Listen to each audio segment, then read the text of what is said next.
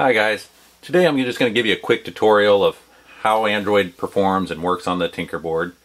You can see here I just have it set up to the default home screen and we're just going to open up the apps.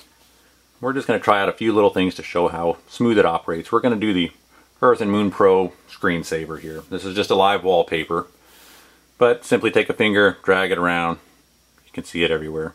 You can pinch and zoom, then rotate, and this is just a wallpaper so however you want to set it it then becomes your wallpaper.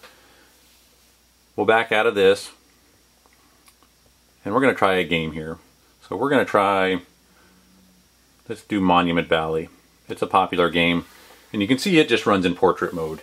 So in portrait mode, obviously it only, its pillar box doesn't take up the entire screen.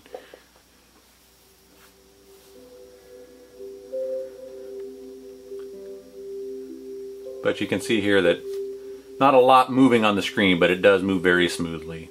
And as well in this game, you can pinch and zoom.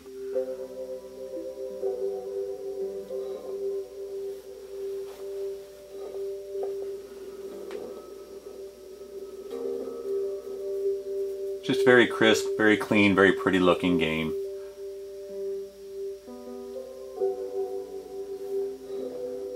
Okay, now we're going to break out of this and we're going to do one more game here just to show you how they run.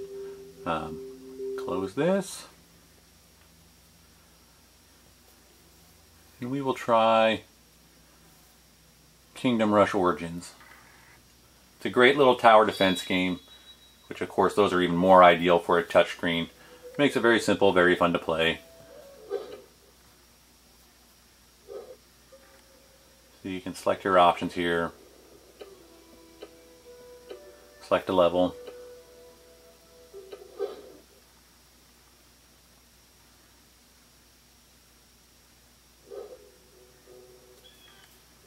And even within this game, you can just scroll around, pinch and zoom, select your units, move them around.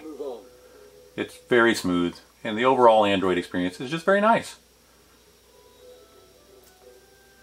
I would definitely recommend the Tinkerboard for Android gaming. It's very nice, but obviously better on a touchscreen monitor. Hopefully this will encourage you to want to try one yourself. Thanks guys.